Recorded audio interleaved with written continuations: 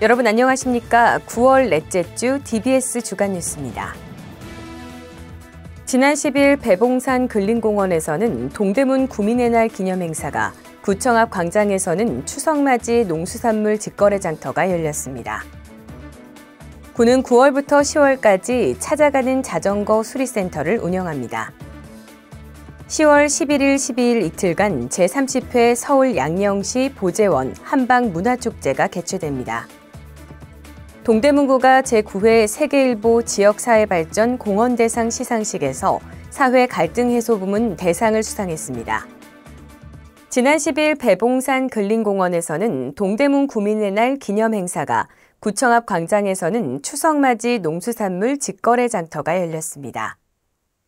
올해로 33회를 맞이하는 동대문 구민의 날 기념식에서는 올해의 구민상 수상자 14명을 시상하고 자매도시 축하 메시지, 구립 여성합창단의 축가 등 구민의 날을 축하하는 다채로운 행사가 열렸습니다.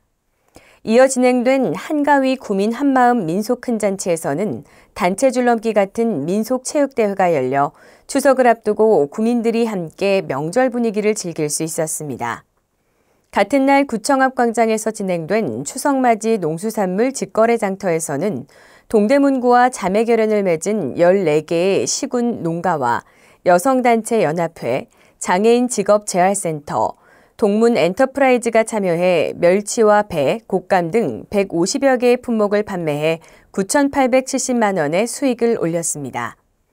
군은 이번 구민의 날 행사가 구민들에게 지역에 대한 애정과 자긍심을 높일 수 있는 자리였길 바라고 같은 날 진행된 직거래 장터를 통해 차례상을 준비하는 데 도움이 됐길 바란다고 전했습니다.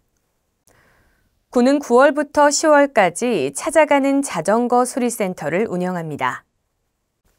친환경 교통수단인 자전거 이용자의 편의와 안전을 증진하기 위해 운영하는 찾아가는 자전거 수리센터는 다음 달 24일까지 관내 각동 주민센터 14곳을 한 차례씩 찾아갑니다. 수리센터에서는 자전거 안전점검, 기름칠, 기어 세팅 등 기본 점검을 무료로 진행하고 타이어와 브레이크 등 부품 교체가 필요한 경우에는 유상 수리로 진행합니다. 운영 시간은 오전 10시부터 오후 5시까지며 선착순 현장 접수로 운영되고 물량이 많을 경우 조기 마감될 수 있습니다. 군은 구민들이 가까운 곳에서 손쉽게 자전거 점검과 수리를 받을 수 있도록 찾아가는 수리센터를 운영하게 됐다고 밝히고 구민들의 많은 이용 바란다고 전했습니다. 10월 11일, 12일 이틀간 양령시 일대에서 제30회 서울 양령시 보재원 한방 문화축제가 개최됩니다. 서울 양령시협회 주관으로 개최되는 서울 양령시 보재원 한방 문화축제는 선조들의 제세구민과 생명 존중 정신을 계승하고 전통 한의학의 발전을 위해 진행되는 행사입니다.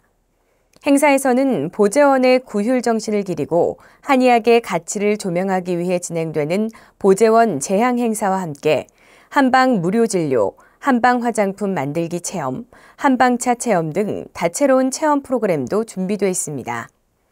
군은 해당 축제가 전통 한의학의 우수성을 널리 알리는 세계적인 한방 문화축제로 성장할 수 있도록 지원하겠다고 밝혔습니다. 동대문구가 제9회 세계일보 지역사회 발전 공헌대상 시상식에서 사회 갈등 해소 부문 대상을 수상했습니다. 세계일보 지역사회발전 공헌대상은 지역 갈등 해소로 사회 발전에 기여하고 평화 통일을 위해 노력한 기관과 개인을 독려하기 위해 마련된 상입니다. 올해는 전문가 심사를 거쳐 사회 갈등 부문과 통일 준비 부문에서 각각 단체 3곳, 개인 3명이 수상자로 선정됐습니다. 동대문구는 민선 8기 이필영 구청장 취임 이후 현장 구청장실 운영을 비롯해 무료급식소 인근 통학로 개선 사업과 동행도시락 제작소 조성, 삼천리 연탄공장 이전 등 지역사회 상생과 화합을 촉진하는 다양한 사업을 추진한 점이 높은 평가를 받았습니다. 군은 이번 수상을 통해 앞으로 더욱더 주민들의 목소리에 귀 기울여 살기 좋은 동대문구를 만들어 나가는데 좋은 계기가 될 것이라고 밝혔습니다. 한낮은 아직 덥지만 아침 저녁으로 선선한 바람이 불기 시작하는 가을입니다. 일교차가 큰 요즘 같은 날씨에는 운전 시 안개를 주의해야 하는데요. 특히 이른 아침이나 비가 내린 다음 날은 안개가 끼기 쉽기 때문에 더욱 주의해야 합니다. 안개가 끼면 전방의 시야 확보가 어려워서 가시거리가 짧아지기 때문에 돌발 상황에 대한 대처가 어려운데요.